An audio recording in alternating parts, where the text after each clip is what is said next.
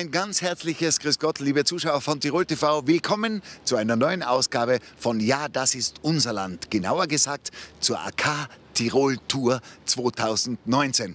Wir sind heute wieder in Ischgl und ich weiß schon, es ist eher Saisonende für die Skifahrer. Deswegen begeben wir uns heute nicht auf die Piste, sondern wir schauen mal hinter die Kulissen der Silvretta Seilbahn AG und ich kann euch sagen, da werden wir einiges erfahren, was für euch von Interesse sein könnte. Natürlich treffen wir Arbeiterkammerpräsident Erwin Zangerl und wir schauen uns einmal an, wie bei der Silvretta Seilbahn AG ganzjährig gearbeitet wird. Und ihr seid dabei. Ich freue mich.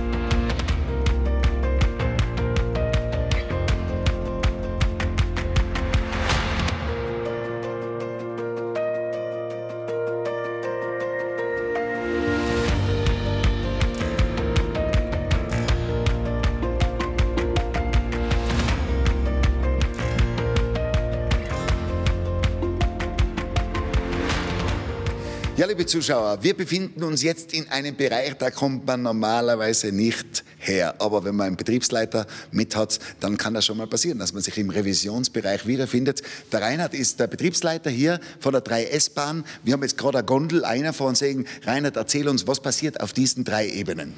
Ja, wir sind jetzt im Revisionsbereich von der 3S Er streckt sich über drei Ebenen. Ganz herum auf der Ebene, wo wir jetzt sind, wird das Laufwerk und die Klemme komplett revisioniert.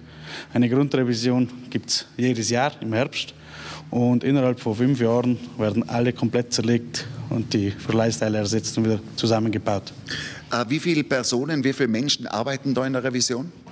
Bei der Revision da bei, der, bei dieser Kabine haben wir drei Personen im Einsatz und dauert zum Beispiel die komplette Revision mit allem Zerlegen und alles komplett zusammenbauen circa vier Tage pro Kabine. Und wie viele Kabinen haben wir? 31 Stück.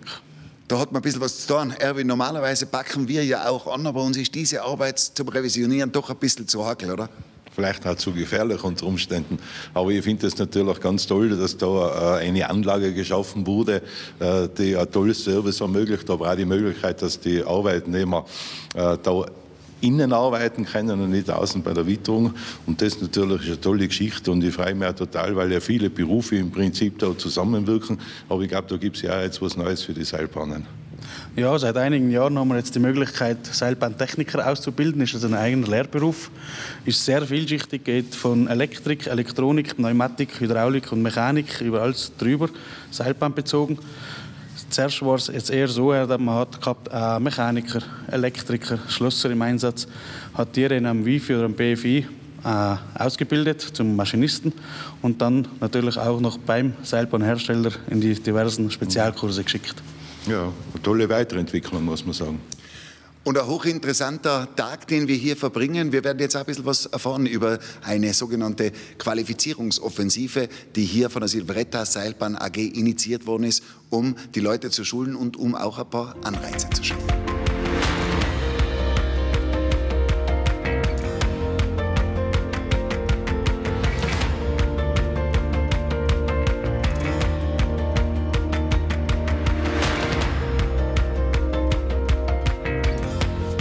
Wir sitzen da in der Fimba. Diese Gondel wird uns jetzt auf die Mittelstation Richtung Idalb bringen. Und zwar mit dem ehemaligen Vorstand, mit dem Hannes Barth und mit einem der beiden neuen Vorstände, mit dem Günter Zangerl. Und mit Erwin nicht miteinander verwandt, haben wir schon geklärt.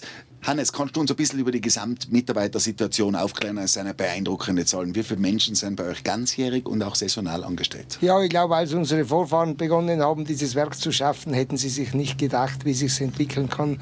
Wir haben inzwischen im Skigebiet, wir sind zwei Gesellschaften, Ischgl und Samnaun, wobei wir in Samnaun mehrheitlich auch beteiligt sind, über 700 Mitarbeiter beschäftigt. Und, und äh, speziell im Seilbahnbereich sind wir sehr froh, dass wir fast alles einheimische Kräfte haben, die auch sehr breite Ausbildung haben, wo wir auch diesen Seilbahntechniker inzwischen haben, auf den wir sehr stolz sind, wo wir uns auch sehr eingebracht haben. Und dann haben wir einen zweiten großen Bereich, den Restaurantbereich, wo wir uns schwer tun, einheimische Mitarbeiter zu finden, was eine natürliche Situation ist, weil eben die Leute bei uns ja, selber Betriebe haben und in ihren eigenen Betrieben arbeiten. Aber auch hier haben wir speziell die Schlüsselpositionen alle mit Einheimischen besetzt. Ja, ich würde sagen, da lacht das Herz des Präsidenten, aber sowas hört man eigentlich gern. Ja, man hört es gern. Erstens einmal ein Betrieb, äh, der tadellos funktioniert der also absolut zukunftsfähig ist, was ja auch eine gewaltige Bedeutung hat in der, in der Region Landeck im Besonderen. Aber eben natürlich, dass auch äh, ganze Jahresarbeitsplätze auch für Einheimische, da Einheimische geboten werden. Das ist eine tolle Geschichte und da bedanke ich mich auch bei den Seilbahnen, dass sie da auf die Leute schauen. Vielen Dank. Danke auch. Ja. Günther, vielleicht ganz kurz. Äh, du hast jetzt doch eine sehr verantwortungsvolle Position, bist aber ein Quereinsteiger. Was glaubst du, wie viele Jahre braucht man denn, dass man sich da als Vorstand so äh, sicher und so gut fühlt, dass man sich auf die nächsten Jahrzehnte des Arbeitens freut? Ja, ich habe natürlich schon sehr große Fußstapfen, die ich ausfüllen sollte. Auf der anderen Seite, ich bin jetzt mittlerweile ungefähr drei Jahre noch nicht ganz im Betrieb und habe schon das Gefühl, dass langsam aber sicher die Abläufe kennst, die Mitarbeiter kennst und ich habe auch einen sehr engagierten und guten Kollegen im Vorstand, das ist der Markus Walzer, der den technischen Bereich, ich würde sagen, perfekt, ab, perfekt abdeckt und demzufolge sind wir, glaube ich, ein gutes, junges Team, das hoffentlich die erfolgreiche Arbeit unserer Vorgänger, zu denen auch der Hannes gehört, weiterführen können. Und wir sind hier schon in der Mittelstation, also perfekt, da kannst du es nicht machen.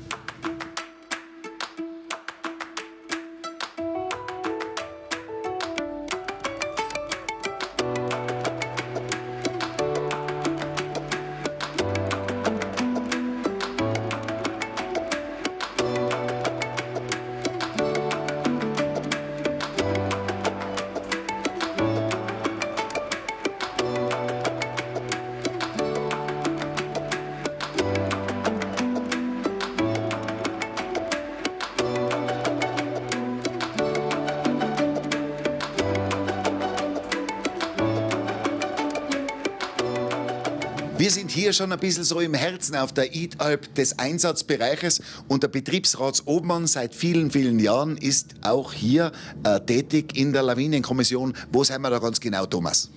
Ja, wir sind da in der Einsatzzentrale, beziehungsweise wo wir die ganzen Sprengarbeiten über den Computer, wir haben ja Sprengmasten, 64 Sprengmasten und 34 Gasex-Anlagen, die können wir alle über den Computer auslösen und das ist eigentlich unsere Einsatzzentrale.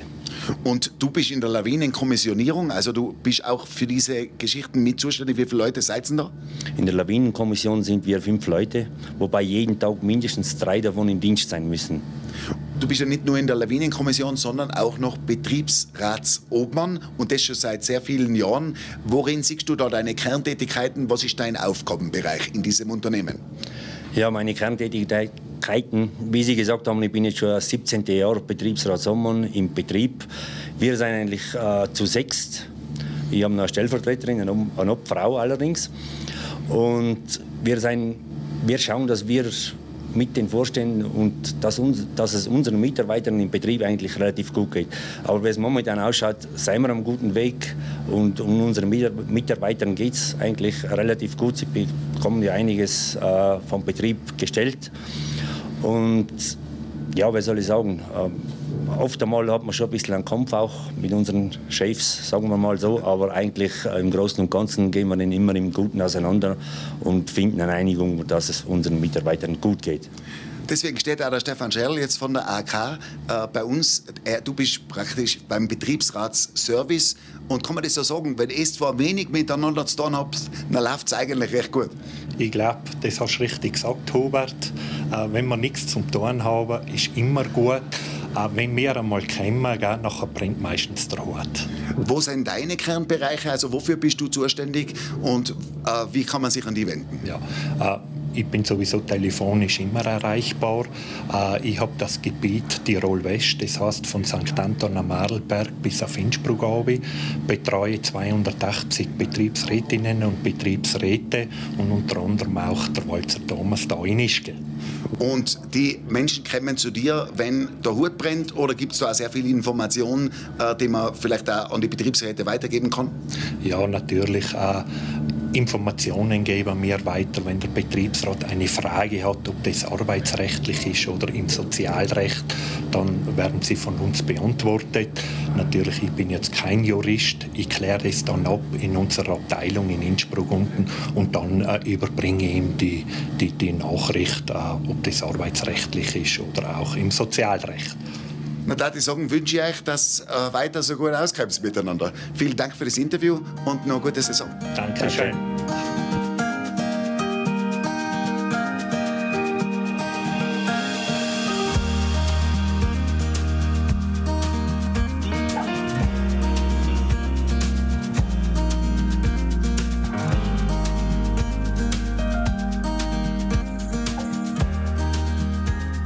Wir haben heute schon ein bisschen hinter die Kulissen geschaut, dieses beeindruckenden Skigebiets. Und jetzt sitzen wir in der Verweilstube, denn gemütliche Platzeln gibt es hier bei der Silvretta Seilbahn AG in Ischgl genug, in der Verweilstube auf der Idalp. Günther, lass uns bitte noch zu einem ganz interessanten Begriff kommen, über den wir heute schon öfter was gehört haben, die Qualifizierungsoffensive. Kannst du uns erstens ein bisschen erzählen, was da dahinter steckt und zweitens auch zur Mitarbeitergewinnung, zur Lukrierung von guten Mitarbeitern ein bisschen was erzählen, ist ja nicht so einfach. Ja, also auch wir als Silvretta Seilbahn AG merken zunehmend, dass es schwieriger wird, gut qualifizierte, gut ausgebildete Mitarbeiter zu bekommen. Und offenbar einer der Gründe, wieso eben Mitarbeiter sich schwerer tun, zu uns zu kommen oder sich das auch überlegen, ist, dass man immer gesagt hat, ja, es bringt mir eigentlich relativ wenig, wenn ich zusätzliche Qualifikationen erwerbe, wenn ich Tätigkeiten ausübe, die mit mehr Verantwortung verbunden sind. Unterm Strich netto bleibt mir da eigentlich zu wenig übrig, dass ich einen Anreiz habe, sowas zu machen. Das war der Ausgangspunkt. Wir haben uns da letztes Jahr dann zusammen mit dem Betriebsrat auch Gedanken gemacht, wo könnten wir ansetzen und haben dann eben diese von dir angesprochene Qualifizierungsoffensive gestartet. Heißt nichts anderes, wir haben Anreize geschaffen, zusätzliche Qualifikationen, zusätzliche Ausbildungen zu machen, indem wir bei den Löhnen da doch merklich quasi angezogen haben. Das heißt, äh, diese Lohnerhöhungen, die wir da schrittweise, also je nach Qualifikation, da im Herbst eingeführt haben, die bewegen sich so zwischen dreieinhalb und äh, zwölf Prozent, also zwölf Prozent quasi bei der, bei der höchsten Ausbildung oder bei der Ausbildung, wo am meisten dahinter steckt. Das ist bei uns der, äh, dieser Doppellehrberuf Seilbahntechniker, Elektrotechniker und das ist doch schon ein Anreiz für unsere Mitarbeiter, sich für diese Qualifizierungsmaßnahme zu interessieren und auch so eine Ausbildung einmal anzugehen was ja oft passiert, man macht sich Gedanken, auch als äh, AG, wie man die Mitarbeiter besonders motivieren kann und dann kommt es aber bei den Mitarbeitern eben zum Teil nicht an oder wird da nicht wahrgenommen. Habt ihr da schon ein erstes Feedback von euren Mitarbeitern? Ja, das wird bei den Mitarbeitern natürlich sehr wohl gesehen, dass man in diesem Bereich was tut. Wir haben wie gesagt, grundsätzlich äh, merken wir auch, dass es schwieriger wird und das ist eben ein Punkt, äh, wo wir glauben, dass wir ansetzen können und dass hier ja sehr wohl wenn es dann, sage ich mal, um fast 12 Prozent Lohnerhöhung geht, der eine oder andere schon sich denkt, ja, das wäre jetzt eine Ausbildung, ich bin ein junger Mensch, äh, mich interessiert das, das könnte zum Beispiel jetzt im Herbst einmal beginnen. Also wir haben da schon jetzt einige, die auf diesen Zug aufspringen und wir hoffen natürlich, dass uns ja, diese Maßnahmen, die ja als Betrieb auch einiges äh, wir uns kosten lassen, dass die, dass die dann auch spürbar werden da hat man überhaupt das Gefühl, Erwin, dass wenn man in einem Betrieb in dieser Größenordnung ist und sich betriebsintern viel abspielt, äh, dass das eine gesunde Entwicklung ist, was auch ganz in eurem Interesse ist. Ja, äh, ich glaube, äh, die Silveretta Seilbahn AG ist ein positives Beispiel, einmal was die Zukunftsentwicklung betrifft, aber auch die Zusammenarbeit im Betrieb. Ja. Da arbeiten also die Chefs äh, plus Betriebsrat an einer gemeinsamen Strategie, sowohl was Ausbildung betrifft, was auch die, die Sicherung praktisch der, der, Arbeit vor Ort betrifft, aber auch natürlich an der Zukunft. Das haben wir heute auch feststellen können, top technisch ausgestattet, wirklich äh, ein Paradeunternehmen, wie man es eigentlich selten in ganz Europa, aber auch in Tirol findet. Und äh, da kann man an und für sich nur gratulieren dazu.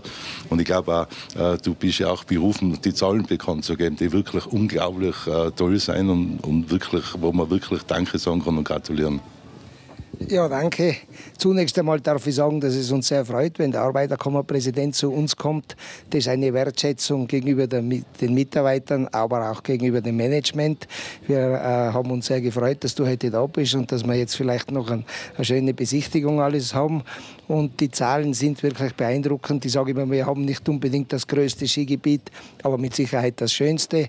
Das drückt sich dadurch aus, dass wir immerhin über zwei Millionen Besucher pro Jahr haben, die über 24 Millionen Beförderungen bei uns machen, die alle sicher befördert werden, auch dank unserer Mitarbeiter. Und wir haben auch die Möglichkeit, immer sehr viel zu investieren. Auch deswegen, weil unsere Aktionäre auf die Ausschüttung von Dividenden verzichten. Das muss man auch mal lobend erwähnen. Also wir sind keine Kapitalisten, wo sich einige den, den Sack vollstopfen, sondern das Geld bleibt alles im Betrieb, wird investiert und diese Investitionen sichern auch die zukünftigen Arbeitsplätze. Da muss man äh, sehr vielen Leuten auch danken und ich glaube, wir haben eine gute Voraussetzung auch für die Zukunft. Ja, liebe Zuschauer, ihr habt es gehört, es gibt genug Gründe, heute auf die Silvretta Seilbahn AG und auf diese gemütliche Runde anzustoßen. Schön, dass ihr mit dabei wart. Ich freue mich jetzt schon auf die nächste Ausgabe unserer Ja, das ist unser Land-Reihe und der AK Tirol Tour 2019. Und euch beiden natürlich gute Geschäfte noch für die Restsaison und dir alles Gute. Dann würde ich sagen, zum Wohl, die Herren. Zum Wohl. Zum Wohl.